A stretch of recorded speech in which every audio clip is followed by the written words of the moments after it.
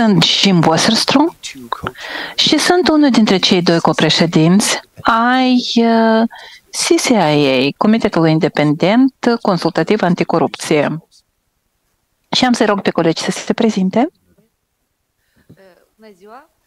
Mă numesc Tamara Razin, sunt uh, copreședinte a comitetului. Laura Ștefan, membru în comitet. Ion Guzun, secretariatul Comitetul Consultativ Independent Anticorupție.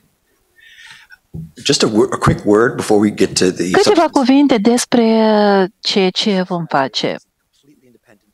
Comitetul este un organ independent creat prin decretul președintelui în iunie 2021.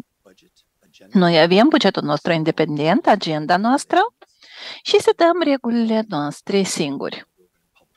Noi raportăm publicului din Republica Moldova și examinăm probleme serioase de corupție sistemică în Republica Moldova, care nu tot timpul se limitează la o singură instituție, dar țin de mai multe instituții. Primul raport a fost lansat în luna iunie cu referire la sectorul financiar bancar și astăzi veți auzi al doilea raport, care se numește Întreruperea nefuncționalităților și resetarea instituțiilor anticorupție din Moldova. Ce avem noi în vedere? Corupția rămâne o îngrijorare foarte gravă pentru locuitorii din Moldova și instituțiile noastre au fost uh, create pentru combaterea corupției, însă corupția nici de cum nu se reduce în ceea ce privește impactul acesteia uh, asupra oamenilor din Moldova.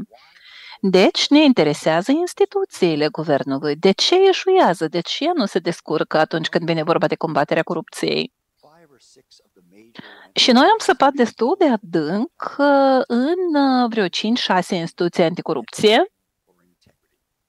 Majoritatea lor se ocupă sau cu anticorupție sau cu integritate. Și uh, biroul uh, Procuraturii Anticorupție are anumite puncte forte, dar nu are resurse suficiente, nu are mandat uh, adecvat. Noi însă susținem că această instituție acum trebuie să se dedice doar combaterii corupției. Centrul Național Anticorupție trebuie să se ocupe de alte cazuri de corupție, dar corupția de nivel înalt trebuie să fie responsabilitatea Procuraturii Anticorupție. Alte cazuri ar trebui să fie raportate la alte agenții și de ele trebuie să se ocupe alte agenții. Colegii mei vor vorbi despre aceasta, vor vorbi despre munca depusă în acest sens mai detaliat. Și vreau să vă spun că munca uh, comitetului, uh, de fapt, este doar o primă parte a ceea ce facem. Și nu se poate spune că, uite, există o parte mai importantă și mai puțin importantă. Contează ce facem noi după scrierea raportului. Noi nu scriem rapoartele doar de dragul scrisului, le dăm și pe urmă uităm de ele. Noi vom urmări foarte îndeaproape situația în instituțiile vizate în acest raport. Sunt câteva aceste instituții și vom încerca să vedem ca um, recomandările noastre să fie implementate la maximum.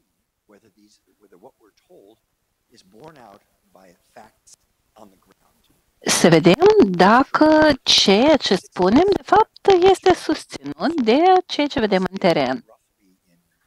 Primul raport a fost publicat circa șase luni în urmă și după aia vom face urmărire și vom da și un uh, gen de scoruri. Să vedem ce s-a făcut, ce se face. Acest raport, cum am spus, va fi disponibil public și noi vom continua să facem acest lucru odată la șase luni și uh, atât de mult de cât va fi necesar, astfel încât să asigurăm combaterea corupției în Moldova. Și acum vreau să mm, dau cuvântul unei dintre mentori autorului raportului, Laurei Step. Noastră în limba română, uh, cred că e mai ușor pentru cei care ne urmăresc. Um, Într-adevăr, uh, așa cum uh, explica uh, colegul meu, am identificat o serie de uh, disfuncționalități în uh, mediul uh, anticorupție din Republica Moldova, fie că ne referim la legi, fie că ne referim la instituții, fie că ne referim la felul în care uh, funcționează cooperarea interinstituțională. În primul rând, uh, cred că ar trebui să încep prin a spune că am constatat că uh, până acum s-a încercat uh, o coabitare, ca să spun așa, în materia urmăririi penale, a investigației și a trimiterii în judecată a dosarelor, care a fost suboptimală, um, care a depins foarte mult de persoanele care ocupau funcții de conducere în anumite momente în instituțiile anticorupție și mai puțin de proceduri transparente și predictibile cu privire la această colaborare interinstituțională. Și pentru că prin schimbarea oamenilor nu se rezolvă toate problemele, uh, noi venim uh, cu propuneri concrete de consolidare instituțională, astfel încât Procuratura Anticorupție uh, să devină singura instituție competentă în ceea ce privește investigarea și trimiterea în judecată a dosarelor de corupție mare, definim corupția mare ca fiind uh, acea corupție comisă de anumite tipuri de persoane, subiecti calificați, acea corupție care implică, indiferent de subiect, o valoare mare a prejudiciului sau o valoare mare a mitei, uh, respectiv acoperim de asemenea um, infracțiuni economico-financiare care cauzează pagube majore um, prin, prin comitele lor, pentru că nu considerăm că în Republica Moldova se poate să lăsăm în afara Procuraturii Anticorupție această criminalitate economico-financiară care a făcut atâta rău în uh, trecutul recent. Procuratura Anticorupție trebuie să aibă și resurse ca să investigheze aceste uh, dosare și aici vorbim despre o instituție de sine stătătoare care să aibă în interiorul ei ofițeri de urmărire penală, ofițeri de investigații, procurori și specialiști care să aibă un buget propriu pe care să-l administreze singură, fără ca uh, această semnătură să depindă de semnătura uh, procurorului general. Deci, practic, Procuratura Anticorupție va căpăta personalitate juridică, va avea un buget propriu pe care să-l administreze uh, singură în conformitate cu alocațiile uh, de la bugetul de stat. De asemenea, Procuratura Anticorupție trebuie să uh, devină subiect uh, pentru măsuri speciale de investigații, pentru că nu există investigație eficientă în materia corupției la nivel înalt, fără interceptări și fără mijloace speciale de investigație. CNA urmează să păstreze tot restul corupției, deci tot ce nu e definit uh, ca fiind corupție mare rămâne la CNA, iar CNA va lucra cu uh, procuraturile uh, teritoriale de acolo unde uh, CNA are birouri. Prin această măsură obținem două avantaje. Pe de o parte, creștem capacitatea în procuratură, inclusiv la nivel teritorial, și deci mâine vom avea de unde recruta procurori în procuratura anticorupție, procurori competenți, nu procurori pe care să învățăm cum să investigheze dosarele odată ce au ajuns la procuratura anticorupție.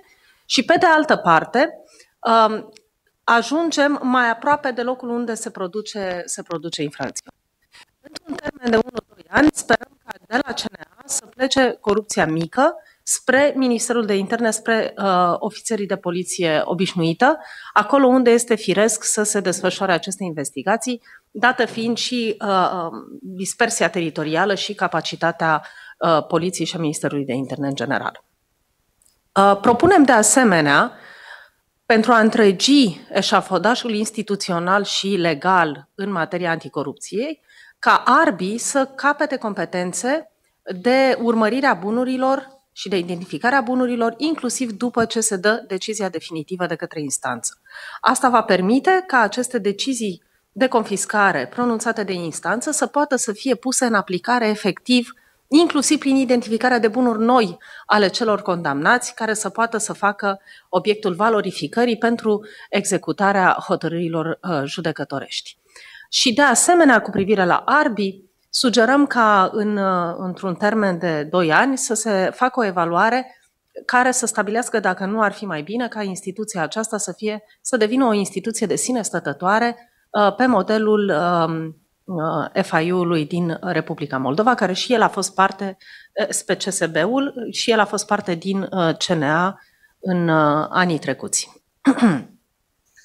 Um, în privința Agenției Naționale de Integritate, constatăm că agenția are în acest moment uh, instrumentele legale pentru a implementa mandatul pe care îl are legal. Ce observăm de asemenea este o practică neunitară la nivelul instanțelor de judecată și chiar și în interiorul Agenției Naționale de Integritate cu privire la Uh, verificarea averilor uh, oficialilor publici. Sperăm ca după decizia Curții Constituționale de zilele trecute, care a consfințit faptul că inclusiv în materie penală putem vorbi despre îmbogățire ilicită, să avem o uh, abordare mai deschisă a instanțelor de judecată și a ANI cu privire la felul în care trebuie evaluate bunurile și averile oficialilor publici. Um, Cam atât din partea mea, m-aș opri aici și aș lua întrebări de la dumneavoastră.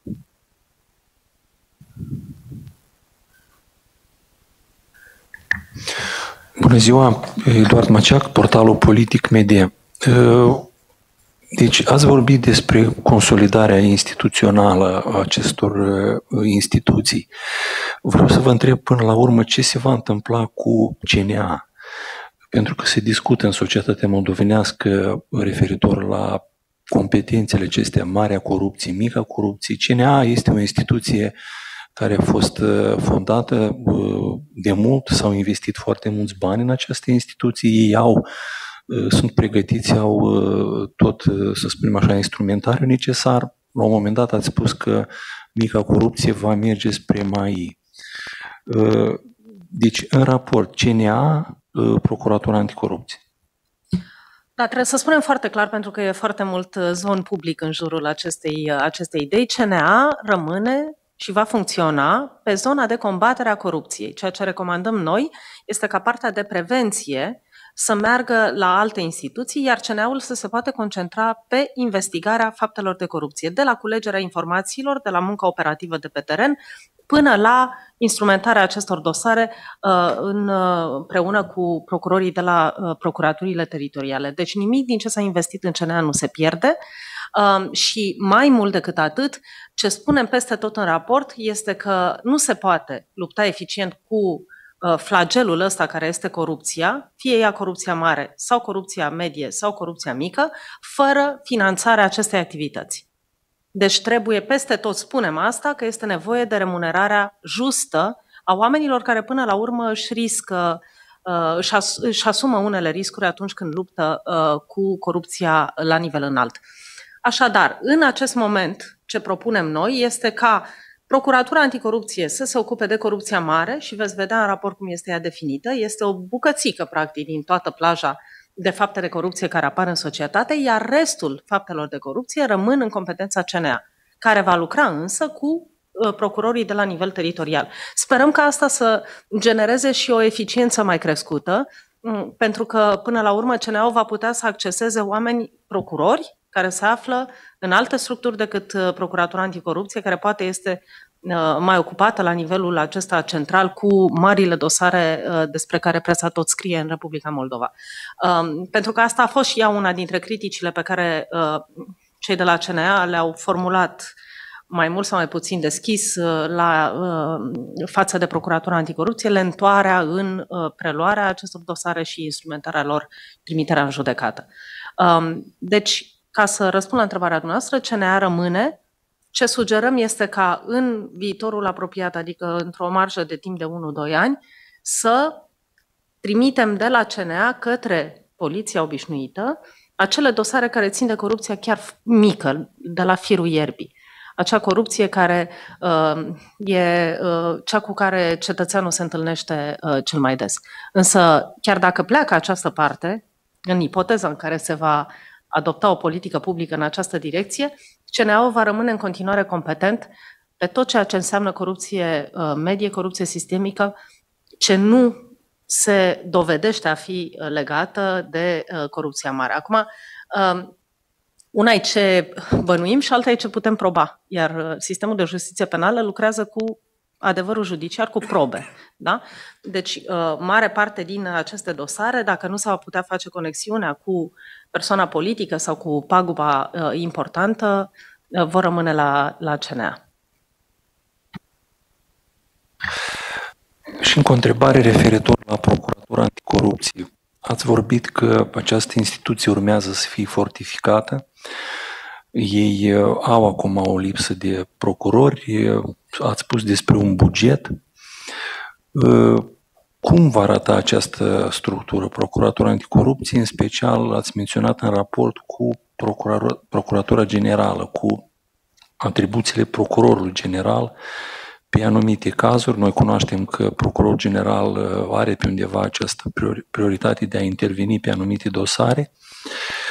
Deci cum va arata această procuratură anticorupție? Vorbim despre o suplinire a bugetului de la stat, vorbim despre suplinirea cu procurori, cu ofițeri de investigație. Asta ar însemna anumite costuri. Mersi. Procurori, ofițeri de investigație, ofițeri de urmărire penală, specialiști, personal suport care să asigure că această instituție de sine stătătoare, deci o instituție cu personalitate juridică în cadrul Procuraturii Mari, poate să funcționeze eficient. Uh, și vorbim de asemenea și despre remunerarea justă a oamenilor care își asumă această funcție. Uh, de asemenea, dacă vorbim despre funcții, Propunem ca în cadrul uh, Procuraturii Anticorupție să existe inclusiv o subdiviziune care să facă uh, măsuri speciale de investigații, o subdiviziune analitică, precum și uh, subdiviziuni uh, suport, resurse umane, buget și, și finanțe. Ați pus o întrebare foarte bună legată de competențele procurorului general. și aici vreau să precizez că dacă vorbim de Procuratura Anticorupție ca despre o instituție independentă, trebuie să se reflecte treaba asta și în legislația pe baza căreia funcționează Procuratura. Deci Procurorul General propunem să poată să uh, ia măsuri cu privire la ceea ce se întâmplă în Procuratura Anticorupție, exclusiv prin intermediul procurorului șef al Procuraturii Anticorupție. De asemenea, în privința competenței, spunem foarte clar în raport că Procuratura Anticorupție trebuie să aibă o competență exclusivă și clară cu privire la faptele pe care le investigează. Nu este uh, de dorit să avem în continuare dosare care sunt trimise de Procurorul General către Procuratura Anticorupție, deși competența, uh, uh, deși faptele respective exced competenței Procuraturii Anticorupție. Deci nu am dorit să mai vedem dosare care nu intră în competența funcțională competența materială a Procuraturii Anticorupție trimise de către Procurorul General. Asta înseamnă modificări legislative, asta înseamnă restrângerea drepturilor pe care Procurorul General le are față de Procuratura Anticorupție și construirea până la urmă unei instituții independente. O instituție nu este independentă pentru că scriem noi că e independentă în lege. O instituție este independentă atunci când în lege îi dăm garanții ca ea să se desfă- să-și desfășoare activitatea independent. Nu este de dorit să mai avem situații în care procurori din afara Procuraturii Anticorupție sunt trimiși la Procuratura Anticorupție să se uite prin dosare făcând uh, un control de fond, da? care privește toate aspectele. Așa cum vorbim de asemenea în raport, și nu am menționat uh, poate până acum acest lucru, despre necesitatea de a elimina din legislația penală a Republicii Moldova articolul 307, cel cu pronunțarea nelegală de hotărâri nelegale. Acest articol este un instrument de presiune la adresa judecătorilor și noi ne dorim o luptă anticorupție care să se facă într-un cadru al statului de drept, într-un cadru just în care atât uh, uh procurorii, dar mai ales judecătorii, acționează independent de ceilalți actori din sector. Ați vorbit de măsuri operative de investigație, uh, acest instrumentariu care ar trebui să fie înzestrat Procuratura Anticorupție. Asta ar însemna pe undeva faptul că ei vor avea anumite prerogative, să spunem așa, dincolo de un circuit normal uh, pentru a obține niște interceptări uh, pe anumite dosare, pentru că există o procedură normală. Este judecătorul de instrucție, el acceptă interceptările sau filajul anumitor persoane. Sigur, și această procedură normală urmează să se aplice toate dosarele. Ce, spun, ce spunem noi este că uh, procurorul trebuie să devină subiect al măsurilor speciale de investigație, adică să le poată face sigur cu aprobarea de la instanță. Aici nu se modifică absolut nimic sau cel puțin noi nu, modific, nu uh, recomandăm modificarea în niciun fel. Uh, deci doar dotarea Procuraturii Anticorupție cu tehnica și oamenii necesari și cu competența legală de a pune în practică deciziile pe care judecătorii le iau cu privire la aceste aspecte.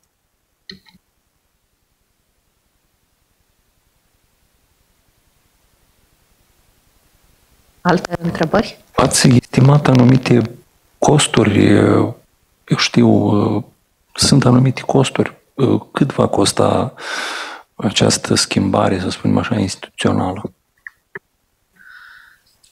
Mai degrabă am uh, imaginat anumite mecanisme care să scadă eventualele, eventualul impact bugetar. Și anume, de exemplu, dacă vorbim despre tehnicile speciale de investigații, deja CNA este dotat cu echipament. CNA-ul trebuie să mențină o parte din acest echipament pentru că rămâne competent pe zona de corupție. Tot ce nu merge la Procuratura Anticorupție rămâne la această instituție, la Centrul Național Anticorupție și atunci s-ar putea imagina o partajare a resurselor existente între Procuratura Anticorupție și, uh, și CNA.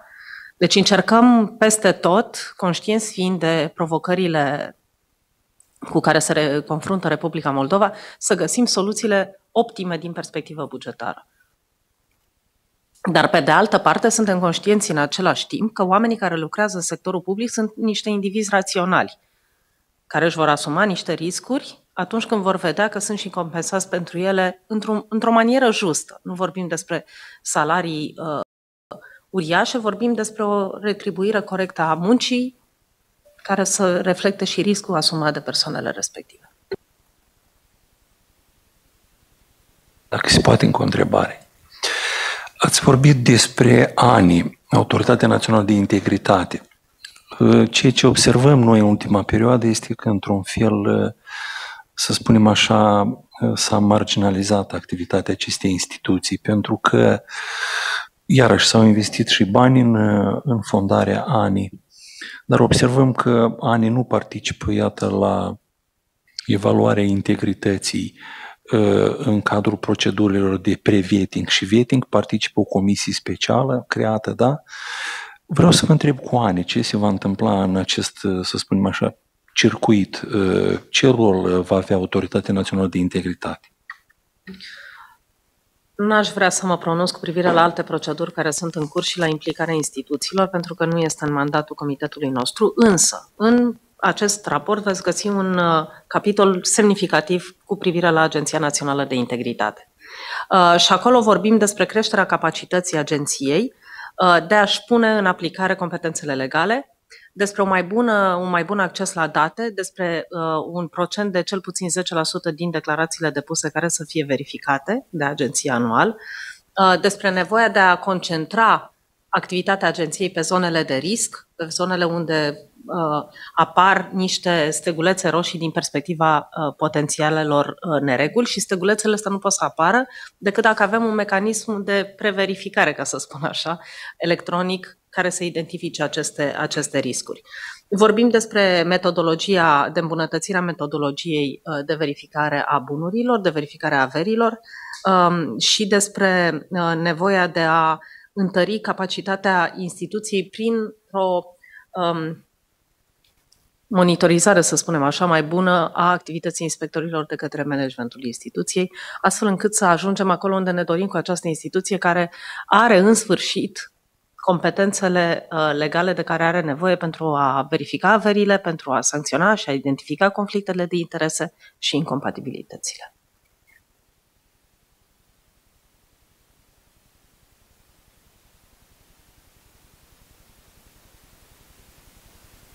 I would like to add a small point uh, to what Eu aș vrea să adaug un pic la ceea ce a menționat uh, colega mea numai ce. Noi am vorbit despre impactul acestor schimbări asupra bugetului de stat. Trebuie să ne gândim de asemenea care ar fi eficiența eforturilor în ceea ce ține de recuperarea activelor care au fost uh, furate, apropiate pe nedrept sau delapidate. De exemplu, cu um, agenții, deci Agenția de Recuperare Bunurilor Infracționale și alte entități și dacă foarte puțin a fost întors în trezoreria statului, dar eficientizarea acestor instituții, cifra bunurilor recuperate ar putea crește considerabil. Și toate acestea ar, ar trebui să ducă la niște îmbunătățiri a stării fiscale a guvernului. În ceea ce ține de agenția de ani, este, asta este un alt subiect. Noi stabilim ținte ca anii să realizeze aceste cifre în ceea ce ține de procentajul activelor declarate care să fie analizate minuțios eu sper că oamenii să analizeze și detaliile raportului, pentru că raportul dă foarte multe detalii uh, privind ce se întâmplă de fapt în cadrul acestor instituții. Și, de fapt, ANI a identificat un număr destul de semnificativ de declarații care sunt cu multe neajunsuri și sunt atât de, cu atât de multe neajunsuri încât pentru ani este evident sunt evidente aceste neajunsuri și multe dintre ele nu sunt examinate minuțios.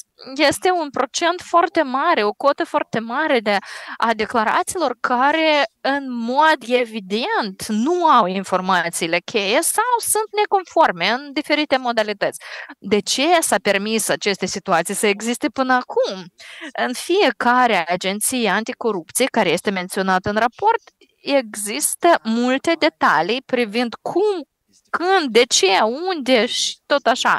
De ce apar aceste deficiențe? Nu pur și simplu uh, apar din pod. Ele se bazează pe experiențe reale, ele se bazează pe interviuri cu persoane concrete din instituții, din afara instituțiilor, privind ce se întâmplă, ceea ce se întâmplă în interior. Deci lucrurile astea nu trebuie să fie văzute separat. Raportul este tehnocratic pentru că, da, abordează chestiuni tehnice, dar abordează și o chestiune mult mai mare, mult mai largă. Este o secțiune a raportului pe care o să o găsiți foarte interesantă și vă îndemn să o citiți uh, despre unde se află Moldova în raport cu alte țări din regiune și din lume în ceea ce ține de eforturile ei de a lupta cu corupție. În sine, aceasta este o lecție gravă și un uh, îndemn serios la acțiune. 52 de recomandări sunt în raport. Ele sunt foarte țintite, ele sunt uh, limitate în timp și noi vom urmări, uh, vom reveni la instituțiile vizate uh, destul de insistent în următoarele luni, dându-le timp să reacționeze și să implementeze și vom vedea cât de uh, serios intenționate sunt aceste instituții și guvern în a face reforme. Noi sperăm că intenția este serioasă și în nu a fost o problemă a ultimelor două săptămâni sau două, doi ani. Asta este o problemă de durată și ea nu poate să fie soluționată peste noapte.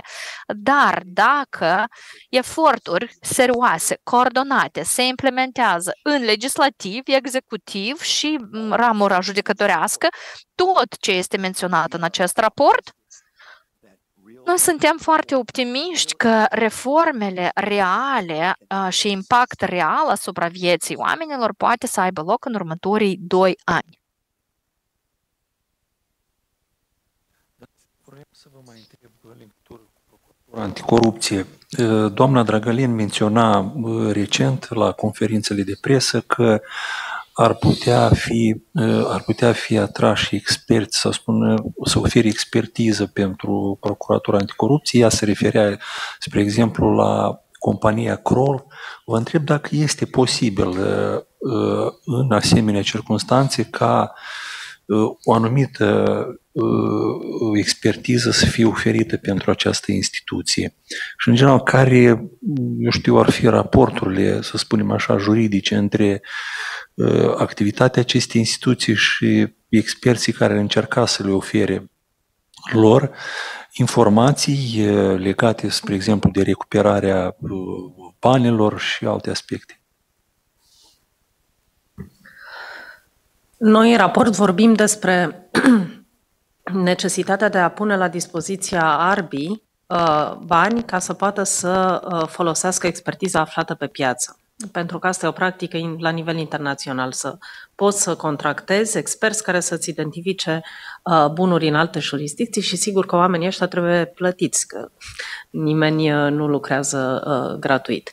Um, așadar, la acel, la acel punct ne referim noi la, la expertiză din, din afara sistemului public. Uh, Uh, dacă mă întrebați ce mecanisme sunt pentru a folosi expertiză la nivelul procuraturii, acolo uh, cred că toate aceste rapoarte care sunt uh, disponibile sau care pot fi redactate pot avea um, valoarea unui um, raport de constatare extern, dar până la urmă lucrurile astea trebuie dublate de, de probatoriu. Nu știu exact ce avea în vedere doamna procuror șef, Însă cred că trebuie să punem competențele acolo unde ele se justifică și dacă vorbim de identificarea de bunuri, treaba asta o face Arbi și tot ei ar trebui să fie cei care pot să uh, contracteze și să adune informație din alte jurisdicții, fie prin intermediul uh, canalelor tradiționale de cooperare între instituții similare, uh, fie prin intermediul contractării unor companii private.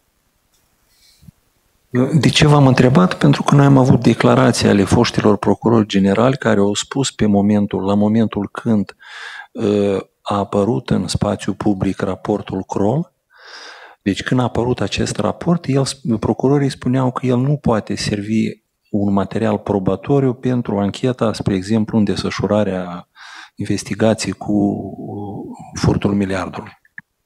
Dar poate fi folosit ca informație, nu? În engleză se face diferența între intelligence și evidence.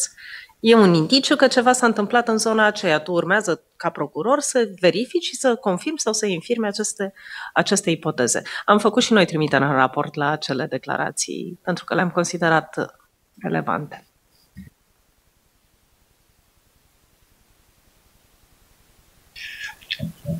On a, on a different note, uh, prior to this, În altă ordine de idei, Înainte de conferința aceasta de presă, of the state institutions. ne-am întâlnit cu reprezentanții instituțiilor de stat cu care ne-am confruntat, ne-am consultat. Ne-am consultat atunci când am scris acest raport și ei au fost destul de receptivi la recomandările care au fost făcute și sperăm această receptivitate, de fapt, va duce la acțiuni pozitive din partea lor. A fost interesant că ei au fost mai receptivi decât unii donatori cu care am vorbit. Dar acesta este o um, dispoziție așa destul de, de, destul de salutate sau salutabilă în rândul instituțiilor de stat. Doamnei Drăgălin la un moment dat la o emisiune sau la o conferință de presă ca o, o parte din banii recuperați să revină, spre exemplu, în bugetul Procuratorii Anticorupție, un procent din banii aceștia. Este fezabilă ideea asta sau nu? Discuția asta despre ce se întâmplă cu banii recuperați se poartă în toate țările. Uh, și, uh, da, uh, în multe jurisdicții, banii se duc spre finanțarea activităților și instituțiilor care lucrează în zona de uh, represiune penală, uh, așa cum în alte jurisdicții se împart banii uh, între organele de represiune penală, bugetul de stat și programe care să genereze Uh, prevenirea fenomenului, adică, de exemplu, uh, programe de protecție a victimelor, uh, fonduri pentru organizații care gestionează victime și așa mai departe. Deci, practica în domeniul ăsta este foarte vastă, dar ce vreau să vă spun este că oricare dintre aceste variante este, este posibilă, așa cum posibilă este și pur și simplu returnarea banilor la bugetul de stat în măsura în care ei, ei nu se duc înapoi la victimă dacă nu avem o, o victimă, uh, persoană fizică sau juridică, ce a fost direct afectată de respectiva uh, practică. Dar e un subiect întreg, un subiect în sine pentru un raport. Ce se face cu banii recuperați? Cred că noi suntem la etapa la care ne dorim să vedem mai mulți bani recuperați și apoi uh, să, să-i vedem întorcându-se în Moldova, după care putem discuta și despre finețuri, cum ar fi unde ar trebui să se ducă exact banii aceștia.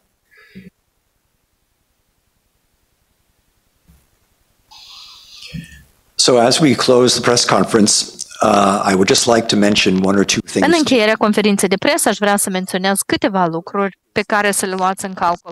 Primul este este al doilea dintr-un șir de rapoarte. Al treilea raport va fi emis în poate în primul sau al doilea semestru, în primul semestru dacă avem noroc, al anului 2023, cu privire la finanțarea partidelor politice. Cel de-al patrulea raport va fi despre întreprinderile de stat. O gaură mare, mare, neagră, neagră. Din perspectiva noastră, va fi planificat pentru a doua jumătate a acestui an anului următor. Dar vă rog să urmăriți acest spațiu pentru că vom emite primul raport de follow-up privind implementarea raportului pe care l-am emis în iulie privind finanțarea sectoarelor bancar și de asigurări, să vedem cât de bine recomandările noastre au fost luate în considerație de guvern. Raportul acesta de follow-up va fi emis în martie anul viitor. Deci cam șase luni, la șase luni după lansarea din iulie. Ne dă ceva timp, plus ceva timp ca noi să săpăm de fapt, să vedem ce s-a întâmplat în raport cu ceea ce ni s-a comunicat că s-ar fi întâmplat. De aceea urmăriți-ne și vedeți ce facem. Susținerea mass media este esențială, susținerea publicului este necesară pentru eforturile de reform. Nu e doar vorba de birocrați și tehnocrați, e vorba despre oameni. Vă mulțumesc foarte mult că ați ascultat, că ați participat și așteptăm cu nerăbdare să mai discutăm în viitor.